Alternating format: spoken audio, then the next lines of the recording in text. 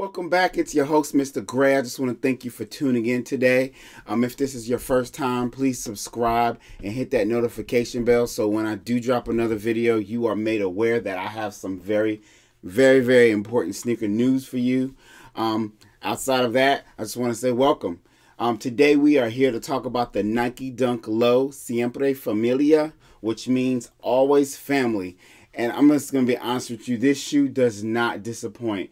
Um, in one of my previous videos, I did state how this video, this sneaker did remind me, not in colorway, not in tradition, but it, it was kind of, it still reminded me of the Dunk Low um, Undefeated, the one that kind of had an aqua bluish color and also had a, um, had a, um, a, I don't know, snake skin, whatever, alligator skin, whatever you want to call that, that, um, the skin, the, I guess the skin looking on the leather, the way it looked. Either way, it did. They remind me of each other, even though they really don't look anything alike.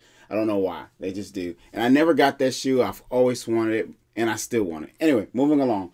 We are talking about always family. So this shoe is beautiful. The colorway is carbon green rift blue sail, and it's honoring Mexican culture and tradition.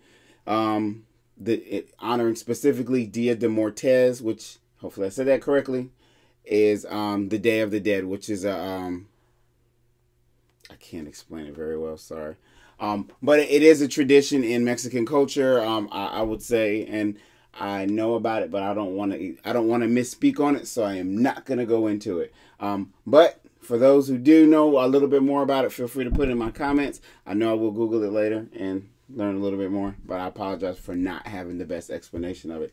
Either way, um, it is a beautiful sneaker. I, of course, I'm going to talk about it in the light box to show the details. But I know I typically go, I typically show you guys the shoebox, like right here. But the shoebox is even really, really nice. The details on it, it's just nice. Um, so I'm going to actually show the shoebox in the light box as well because there's just so much detail on it and it's really, really nice to look at. So I think before we go over there, um, no, nah, I don't, I was to say, I think I'll read this from the the Nike page, but I don't know if I really want to read about it.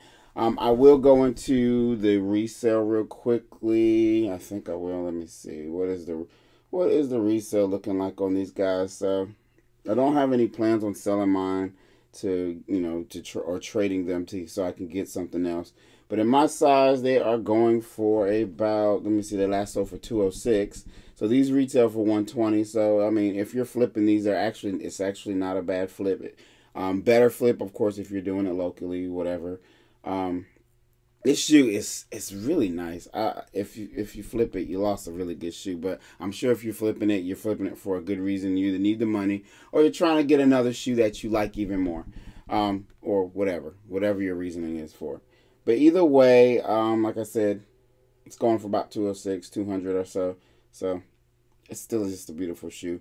We're not gonna waste any more time, guys, because um, this this is really nice. It's not a basic shoe. You know, I get so many shoes, and some of them are like, "Oh, this is a shoe I've I've talked about ten times or hundred times," but the color changes slightly. But you know, this is one of those more unique ones where you actually get so many small details that are just different from your regular shoe that you really can kind of delve into it. So I'm really excited to talk about it. Um, so without further ado, into the light box. So into the light box as promised, we have the Nike Dunk Low Siempre Familia. Hopefully I said that correct. I need to stop saying that after every time I say something that's not English. I'm, I, I got a pattern of doing that. Either way, I'm, I'm just to have confidence that I said it right. And if not, somebody who's a friend of mine, it will correct me. Either way, moving along, it is a beautiful shoe as you can see before we really jump into the shoe, as I say, you know, we typically do the do the box. We typically look at the box over over in my regular chair, but this box just has so much sexiness to it. We have to take a look at it right here. So uh, let's start with my size. 10 and a half. Right there, you see you have that skull right there, and, and its its nostril is actually a Nike symbol. Isn't that cool? That is pretty cool. Let me let me turn that a couple ways so you guys can check it out. Then on the side right here, you have Siempre. Get, a, get that clear. Then you have the symbols, Day of the Dead symbols over across the top right there. Check it out. It's just beautiful. This this is right here is actually this iguana is actually on the shoe. There you go. Siempre Familia. And then you got a full green side here with Familia on it. And you can see the Nike check. It has that nice um, Day of the Dead look going with it. The the actual designs and stuff. Now the the le oh shoot, I didn't even see the bottom. Y'all, I literally like I said, I knew I've had people in my comments say, he acts like he doesn't even know anything about the shoe. Guys, what I try to say, what I've said before, those who've been here before, I literally get them in the mail and I like to have an original reaction. So I typically try not to look at the shoe too much because I really, really want my reactions to be genuine. I'm going to stop explaining that one day, but today's not today. So you see you have that nice cool little rib cage right there. That is super fly. Oh my God, that is nice. Now, and the last thing you have is the top. Now check that out. Oh, hold on. Let me hold it back so you guys can see it. You see how that is? Nike Nike with the with all the um the symbology from the Day of the Dead. It doesn't get any cooler than that. I mean, they really they really dug in their bag for this one. They weren't trying to cheat anybody. I, I really like how they did that. So let's. I really can look at this like a ton. It's just I I'm just I'm pretty. I hope this honors those who do do celebrate the Day of the Dead well. I hope it represents how they feel it should. Um, you know, I, I, can't speak to that unfortunately, but like I said, I do hope that this shoe is something that they find special. I, I I'm not I don't even celebrate the Day of the Dead, and I find this shoe pretty special. But now I want to celebrate the Day of the Dead. I want to try it out. Sorry, guys. Apologize. I don't know if that was offensive, but if it was, I do apologize. Anyway, moving along. Let's jump into the shoe. Let's back up. All right. Bam. Now, I guess before we get into all the details of the shoe, let's just, I'm going to explain the only difference between the two shoes. The only difference between the two shoes is what is on the insole. And on the insole of one, you have the, um, let me see. There we go. Let's turn that in there. I don't even know if you guys can see that. On the insole of one, you have a skull with a um, like a I guess not a real diamond, but the, uh, a design of a diamond in the eye. And the, on the other insole, you have Siempre Familia with the um, Nike swoosh, with the Nike swoosh in the middle of it. Like I said, I hope you guys can see that. But if not, I explained it pretty well. Other than that, the whole shoe is exactly the same. So let's start with the outsole. So you see you have that icy outsole right there. Nice and clear. Check that out. No designs. No designs under the outsole, just white. Or really not white. It's really what the midsole is. So that midsole is a kind of a creamy off-white color. You know, one of my favorite colors, you guys. Um, and as you can see throughout, the texture of the shoe is all pretty much like an iguana texture. Of course, it's a mixture of um, leather and suede.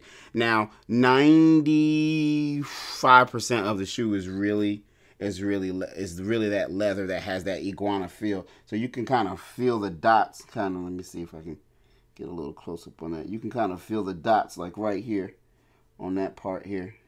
But this has a little bit different of a texture. It has that more of a iguana iguana look here. This to me, kind of be honest with you, kind of reminds me of like a boa constrictor or something. But anyway, I'm, I'm out of I'm out of hand here. That that's not what the description is for this shoe. Um, as you can see, you have more of Day of the Dead um, symbology here going through the whole swoosh. Now, the suede that I told you about, that 5% suede is actually in the swoosh. And let's see if I can pull in right there. See? You can see that suede going in. And then there's actually suede on the heel toe, on the heel, sorry, the heel toe, on the heel as well where the Nike symbol is. More suede. Let's pull that right there. See that? Nice, isn't it? And then at this iguana. Now, y'all, that iguana touched my soul. Let me tell you why. Because under no circumstance did I expect that the iguana was gonna have that little jewel in the eye. So it kind of has a like a gold outer to it, and then like the little jewel for the eye. If that ain't sexy, y'all, I really don't know what is. And if y'all don't appreciate that, then y'all just don't appreciate a well-made shoe. So anyway, The swoosh, of course, continues with the Day of the Dead symbology and, and markings throughout on the inner inner side of the shoe. Um, you got that toe box and the side panels. They all have that the same material. And then you got the toe again with, I know it's not, I said boa constrictor. But anyway, has that same, let me see, get it closer. There we go. Has that same nice little rough kind of bubbled up pattern right there. You can kind of feel it sits up pretty well. Um, outside of that, the shoestrings do kind of have the same color as the midsole, that creamy kind of off-white color. And then the one thing just to bring attention to, and, and it's probably something you really can't tell, or maybe you can. You really can't tell though if you're not holding the shoe. So you know how you normally have that just kind of like a nylon feeling, um, what you call Nike tag. Here, this tag is actually it feels like a kind of a a rubberish plastic kind of actually, and it's clear. You can see. I'll put my finger in there. You can see my finger through there. So um, you got that. Um, I think for the most part, be honest with you, this that's that is the entirety of the shoe. Like I said, both shoes are exactly the same. Outs, outside of the insole, the insole, you know, is the only thing that's different.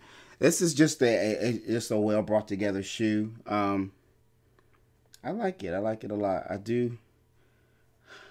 I don't know. It's it's it's just it makes me want to get that Nike um, Dunk Low um, undefeated that I talked about because I feel like they're almost they're almost like cousins. They're distant cousins, um, and, and and they need they should be in the the collection together. The only thing missing from the shoe, which I'm used to Nike giving, is typically Nike always gives you a spare pair of laces and I personally feel like a spare pair of laces, a good color would have probably been probably this red color. That's that red right there. That would have been the perfect. Or actually, no, you know what? The orange right there. If they would have given us a spare pair of laces, it would have been that orange right there in the middle of those circles right there. That would have been perfect. They didn't either way, so I mean I can live. No, okay, okay, one more it would have been that the yellow and that iguana. That would have been a real nice hit. God, I can't help myself. This this shoe is really nice, y'all. So anyway, um, if you're lusting for it, you know it's not too far from retail. Like I said, I think I said re retail is about 120. It's go my and 10 and a half. It's last sold for about 205, 206. So you know it's not a far stretch for you for y'all that are used to you know when we don't get something. You know sometimes we got to stretch out a little bit just to get it. This is not a far stretch. So um, I don't know. Let me know in the comments if you if this is something that you like or if you hate, if you plan on getting it. You know, like I said, it's not too bad. You know, we've seen shoes that that have skyrocketed, and this is not by far not the case. Not yet. So anyway, um, guys, I just want to thank you for tuning in. As I said at the beginning of the video, please subscribe and hit that notification bell so you're notified when I drop when I when I talk about some new heat. Um, let me see. The last thing, what is it today? Let's oh mention real quick. Uh, we talked about no the Brotherhoods dropped today. I did not try for those. Uh, I got some other priorities at the moment. And what else is dropping? I know. I think it's this weekend. The um, what are they? The Yeezy 350 Blues. I'm not sure if that's the exact color. They're dropping this weekend. So um, what's tomorrow? Tomorrow is the those white shoes. I those white looking dress Nikes. Um, not exactly my cup of tea. Um, but I if I will try for them because I want to review them. So you know, like I said, I, I always want to review stuff, so I, I end up going for stuff just for a, a simple review. So either way, guys, um, I hope you enjoyed this review, and I just want to thank you guys for tuning in. Mr. Gray out.